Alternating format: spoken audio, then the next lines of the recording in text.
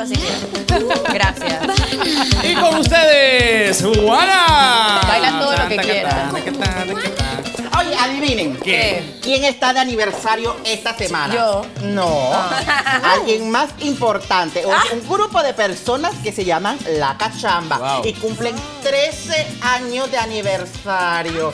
Ajá, bien chévere. Vamos a ver este Y video. este 26 de diciembre se celebran los 13 años de carrera de la orquesta favorita de todos los bailadores, La Cachamba. Conversamos con uno de los hermanos Cruz, dueños de la orquesta, y esto fue lo que nos dijo.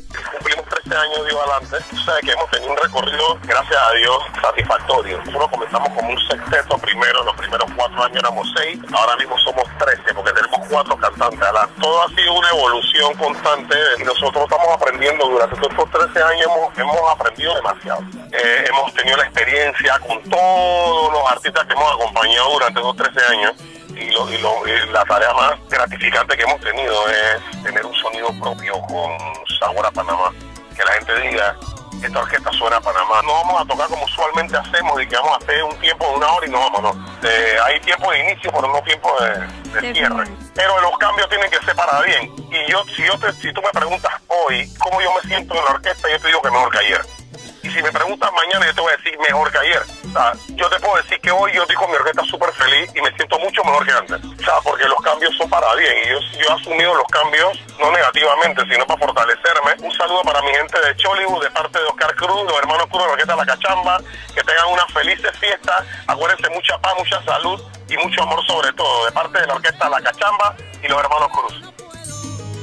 Uh. Miren qué chévere. ¡Felicidades! Felicidades. Bailaba con la cachamba Oa, oa, cuando oa. ellos, ellos eh, que tocaban en un casino de la localidad muy famoso. tocan en todos lados. Tú me exacto. chinguera. O sea, ¿tú bailabas que ibas a bailar o bailabas como Iba, cuerpo de baile? iba a bailar de bailadora, de salsa. Ah. ¡Ay! Saludos a mis amigos salseros que cómo nos pasamos ahí los viernes bien, bien rico con la cachamba. Pero ya la cachamba está a otro nivel. Ellos ya no, no tocan en cualquier lugar así, de que, ah. Son 13 años. Sí, Exacto. claro. Oye, Heidi, hay otra que está en tu estado.